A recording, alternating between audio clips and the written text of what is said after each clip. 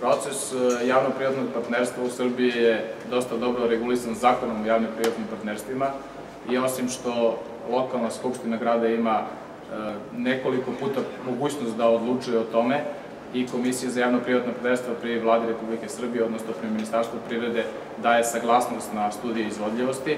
Mi smo jedno javno-privatno partnerstvo već realizovali i očekujemo pozitivne rezultate.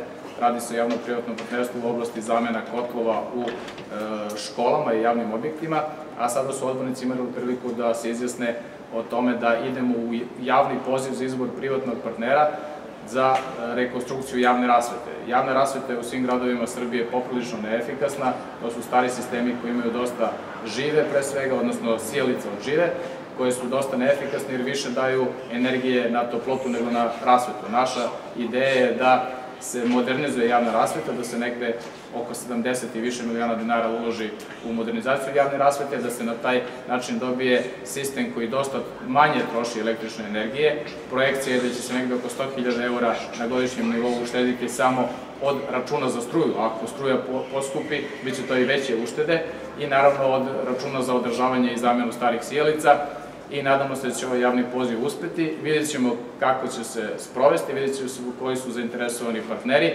Bili smo malo strogi što se tiče uslova, jer želimo da javno-privatno partnerstvo traje što je moguće kraće.